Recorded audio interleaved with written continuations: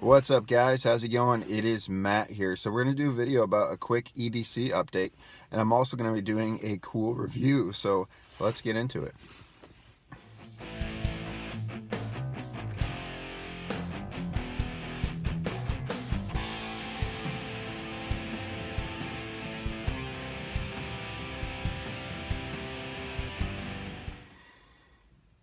All right, guys. Now, there's a lot of different methods in carrying when it comes to carrying a firearm and stuff like that.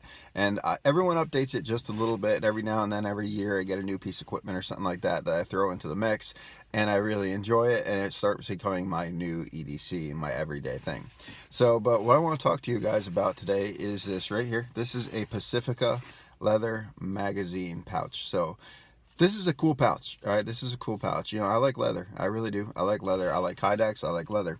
Um, but this has officially become my new edc when i'm carrying my sig which is pretty much 20 98 percent of the time. I say 20 98 percent of the time i pretty much carry my sig. On a day like this because i'm doing this review and i took this off from carrying my 1911 but anyway so I want to talk about this because uh, I, I always carry inside the waistband when it comes to my firearm. Uh, firearm, regardless of the time of year, like even right now, extra layers are on, the trees are you know, changing colors, it's getting colder. Um, I still carry it inside the waistband because that's how you conceal a firearm. It's the best way to do it. You can do it outside the waistband with a jacket. Yeah, you, you absolutely can. It still just makes it a little bit more difficult when you move around your jacket comes up over unless you have like a long jacket. But for me, I always do inside the waistband just because it always conceals the firearm. Now, when it comes to mag pouches, though, I, I usually carry outside the waistband with the mag pouches, and I usually have a one that's thin and it's narrow and it pulls the gun to your body or pulls the magazines to your body. Now, when it comes to magazine pouches, I have two methods of carrying it. Um, the one that I, that I do a lot of is my pocket carry. I have a little pocket carrier that I put a magazine in there. But the one that I've always done too, and I do this now, even when I have my 911 on right now, I have my I have two mags on my side, is I do outside the waistband carry with mags. All right, now I do it with mags because not you know not every mag carrier is the same. If you get like the big bulky Blackhawk ones and stuff like that, regardless of the size and the, how thin the, thin the firearm and the magazines are, it's gonna bulge. It's gonna stick out. So I usually do a pancake, kind of like a pancake, and it's narrow and it pulls it tight to your body, so it wraps it close to your body. And when wearing a shirt, and one other thing I like to look at too is uh, if this is your belt line coming here like this, okay, this needs to be almost the height of your belt, all right? If the, belt is coming up here, I don't know the best way to explain it. If the belt is coming across up here, then you have all this standing underneath of it, and that'll be sticking out under your shirt. So the belt line, pretty much for me, has to come close to the actual bottom of the actual mag pouch in order for me to carry it. Now, what really drew drove me to this, which really drove me to the, or drew me to it, however you want to say it, is I was just looking for a new option. I was just like, hey, what, what do they got up there? Let's see what they got. You know, I have stuff that I've been using. Um, but then I saw this and I really drew it. Now I like the angle of this. Look, this is the angle.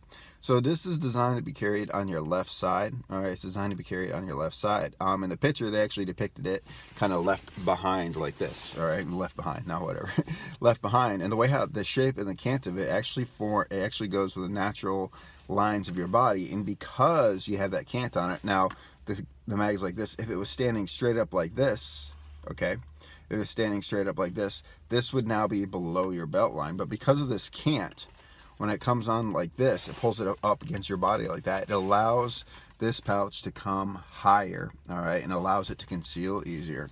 Now, this is really nice because it's, it's, it, when I got it, it was tight. I mean, this is for my 229, so this is my 229. I could probably fit my, I don't know if I could, it probably fit my Glock mags in here. It might, it would probably loosen it up a little bit. But this is a 229, and they even put it on the back of it. All right, 229. Nice little flag in there, too. Uh, mine's actually M11A1 a 228 but basically this is very very tight. So when I first put it in there I almost couldn't get this thing in there. And I've been if you can't tell I've been wearing this for days now. Uh, I've been wearing this for days now. But I, almost couldn't get it in there, so I just shove it in as hard as I could and just shove it in and pull it out and just kind of do that for a little bit until I got it where I want it to be. And then I had it sit overnight in this. And then since then, the only time I've taken it out of the mag, the, the actual mag pouch is right now when you saw me doing that.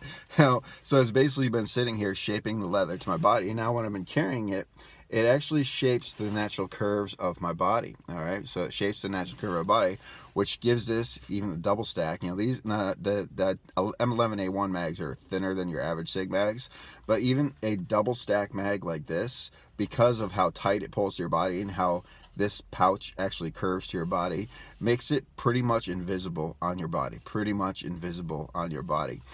Now, you have to put this on the right angle obviously on your body. So if you put it too far in the back then it's going to be sticking out like this all right? If you put it too far to the front it's going to be sticking out like this. You got to find that balance in between and where it's comfortable. And I found that on me. And this is exactly where it's been sitting for the last uh, just days ever since I've gotten this. That's why I've been that's why I've been carrying this thing. And I'm really digging this. So for me this is my new EDC update. So this is a Pacifica leather all right? Mag pouch. I mean this is just a nice I mean look at just I don't know if you can see the stitches are nice. All right. Everything about this is just a very, very nice pouch and it's nice and thick nice and thick leather so it's heavy duty leather. I mean it's heavy duty. I mean this stuff now it's shaping to my body. You can move it a little bit but i mean it's just staying there. It is just staying there. So anyway but check the link down in the description below if you're into that. So go take a look at it if you like this. So go check out that link and i'll put that in there. I'll take it's a ebay where i found them on ebay and i'll show you actually this exact magazine pouches it'll show you exactly where it is. So go check that out. I'll put that link down there if you like it. And also guys if you like the content of this video of this video feel free to support it. So go ahead, check me out on Patreon. If you like the stuff, go ahead, put you know, go ahead and help me out over at Patreon. That's where this came from. Uh, my patrons, all right, my patrons. This is the stuff that I get. And right now, uh, I'm actually taking that Patreon Patreon money. I'm probably gonna be saving for a gun light so I can give you guys a review. All right. So anyway, if you like that, like I said, if you want to help support the channel, go check me out on Patreon. If you want this specific carrier go check out the description as well it'll be down there. Anyway guys if you like this video like share subscribe tell your friends about me and remember it's our responsibility to take care of each other and protect each other. Peace